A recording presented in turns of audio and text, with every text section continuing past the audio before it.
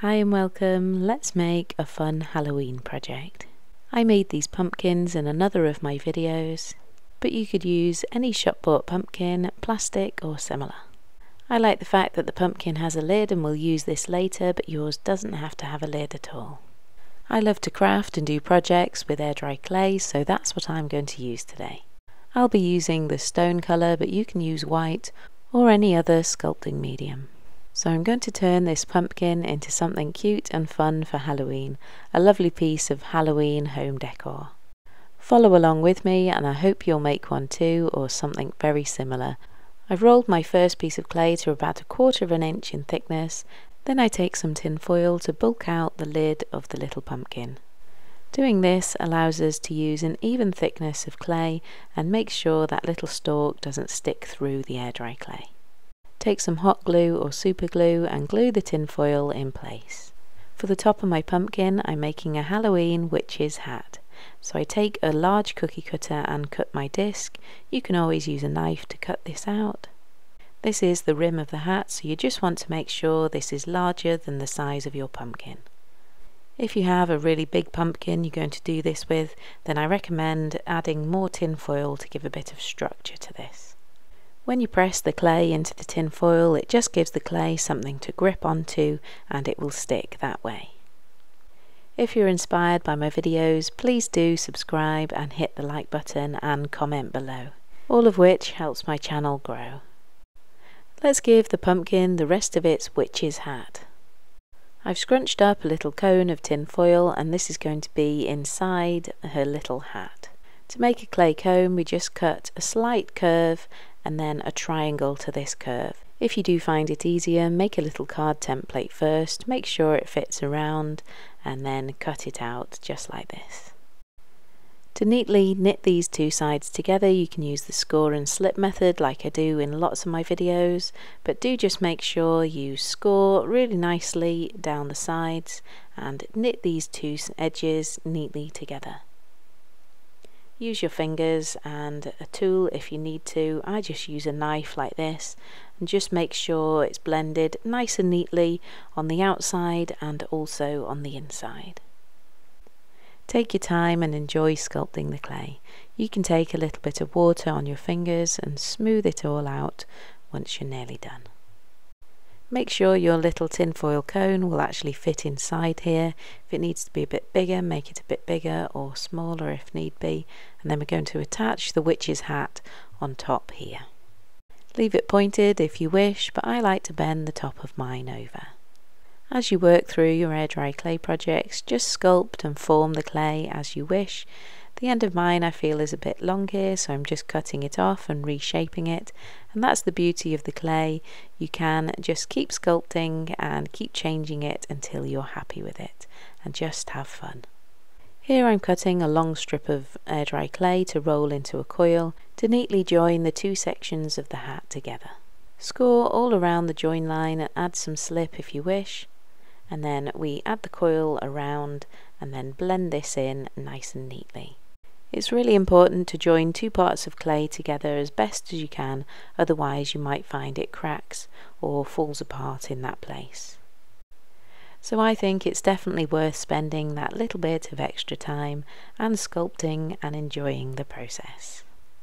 You really don't need any fancy tools when it comes to crafting with air dry clay. I have a little video where I put in some DIY tools that you can make and find easily around your home.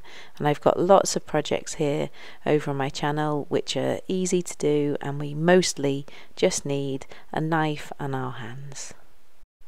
Add a little water and smooth it out with your fingers or you can use a larger paintbrush or a sponge.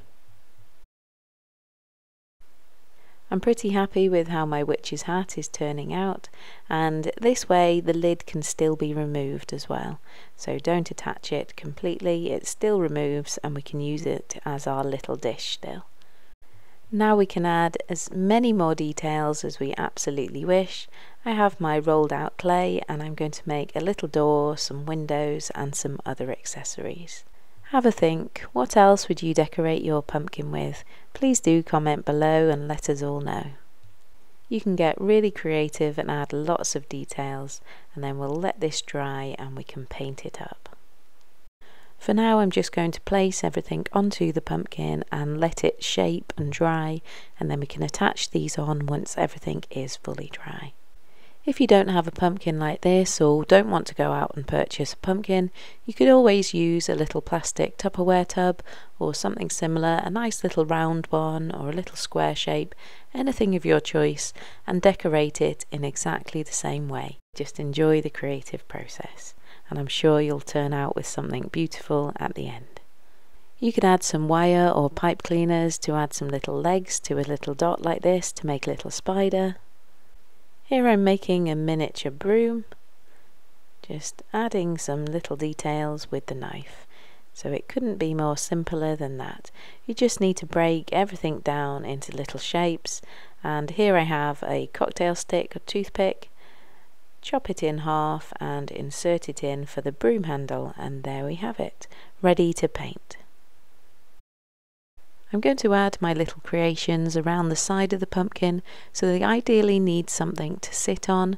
So you could use some cardboard and cover this in the clay but I'm going to just roll out a disc of the clay. Rolling it out fairly thickly I'll be able to put the pumpkin on the top of this. This element is optional really just like everything. Just do what you feel you want to create for your project here on my channel, I just love to provide you with inspiration. I find that being creative is so therapeutic, and I want you to take a part of that as well. You really can add so many details, so just enjoy and do as much or as little as you wish. Can you guess what shape this is going to be? Just use your fingers and sculpt some shapes, absolutely anything you wish, and then you can just test and see where you'd like to place these and then add them in. Our little pumpkin house needs a little cauldron and so this couldn't be simpler. I have a ball of clay using the end of a paintbrush and making a little hole. You can add some little handles as well if you wish. What else could we add? Let's add a little black cat. I cut the profile of the cat out of a flat piece of clay and then I'm using the toothpick to shape it. I feel the witch's hat needs a belt around it like they typically do so I rolled out a piece of clay and cut this and I just place this around and neaten it off at the back. I've added some baking parchment underneath so I can turn my piece as I need to. Then leave it aside to dry. This took around 4 days to dry completely but do make sure it's 100% dry before you paint or varnish. Clean up any areas with a damp cloth. The doors and the windows can be removed if need be and added a little bit of glue behind and set everything else in place with a little bit of super glue and let it dry completely. So next I take my acrylic paints and I paint this up with plenty of detail. Another really enjoyable part of the process. Once everything is dry then make sure you varnish to seal it so that it lasts. I've added a little tea light inside of mine and look how beautiful it turns out. So I do hope you're inspired to give something like this a go. Thank you for watching and I'll see you in my next creative video. Bye for now.